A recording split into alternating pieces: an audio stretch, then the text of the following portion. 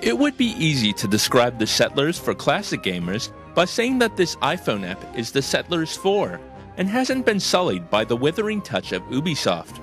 That's a good thing for everyone else because The Settlers by Gameloft represents the best this franchise ever had. Ostensibly being a real-time strategy, the interface consists mainly of clicks and drags to select units and assign them targets, either to attack, defend, or work. The main goal of the settlers is to expand your empire by balancing the collection of resources while defending yourself from foes, and this can be done with a minimum of fuss as your peons automatically work to achieve the goals you set. This reduces the need to constantly oversee every aspect of the game while you concentrate on a handful of units manually. Settlers has retained the rich and colorful world that made it popular in the past, with each of the four tribes having distinct designs to their special effects and units. It's not possible to play while listening to your own music, but the classical background music is easy to listen to.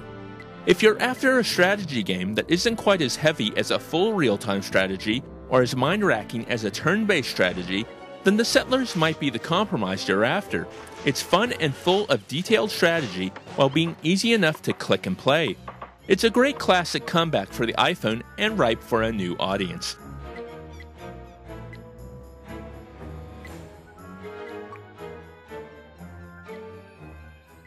This has been Dave with AppSpy.com. We review, you decide.